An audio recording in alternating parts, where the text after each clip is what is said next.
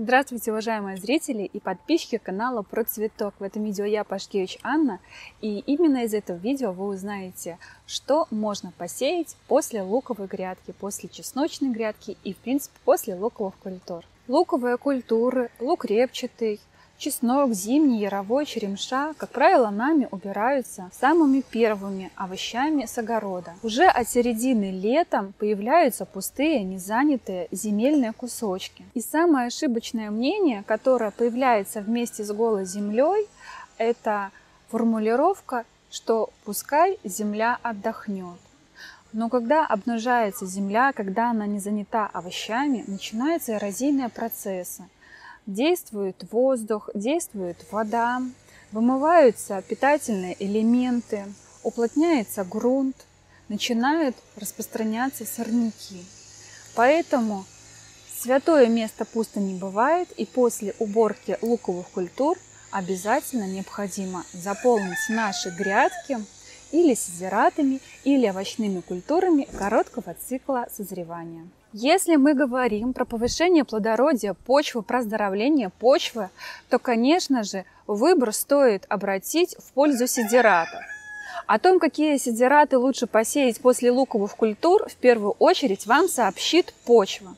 Например, если у вас почвы плотные, малоплодородные, то мы их будем разрыхлять такими сидератами, как вика-овсяная смесь или люцерна.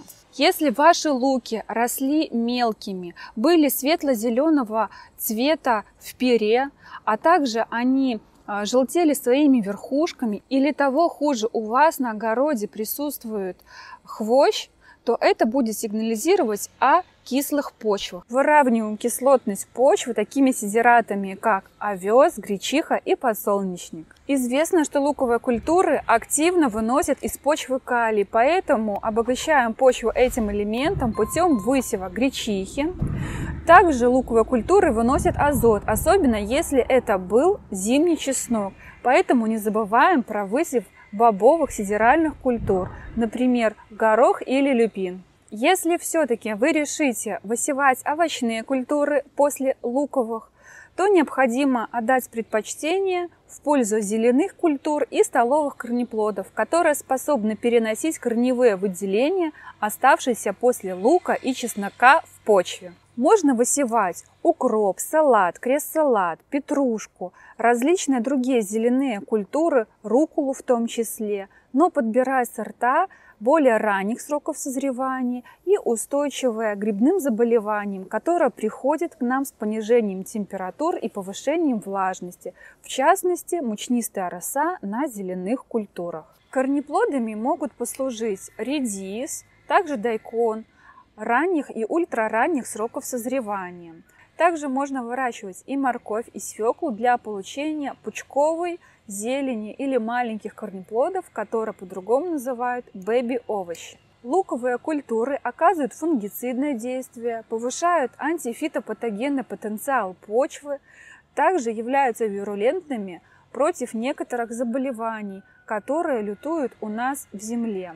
Поэтому луковые культуры станут хорошими предшественниками для посадок с многолетним циклом выращивания, в частности, для земляники садовой или, как принято у нас называть, для посадки клубники. Вместе с этим в почве накапливаются и специфичные болезни и вредители, характерные для луковых культур.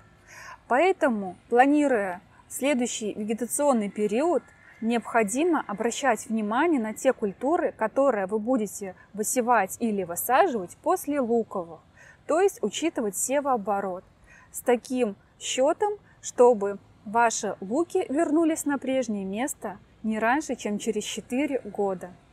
Надеюсь, это короткое видео поможет вам правильно подобрать овощные или сидеральные культуры после луковой грядки.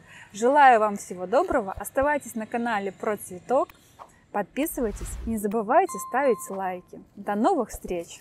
thank you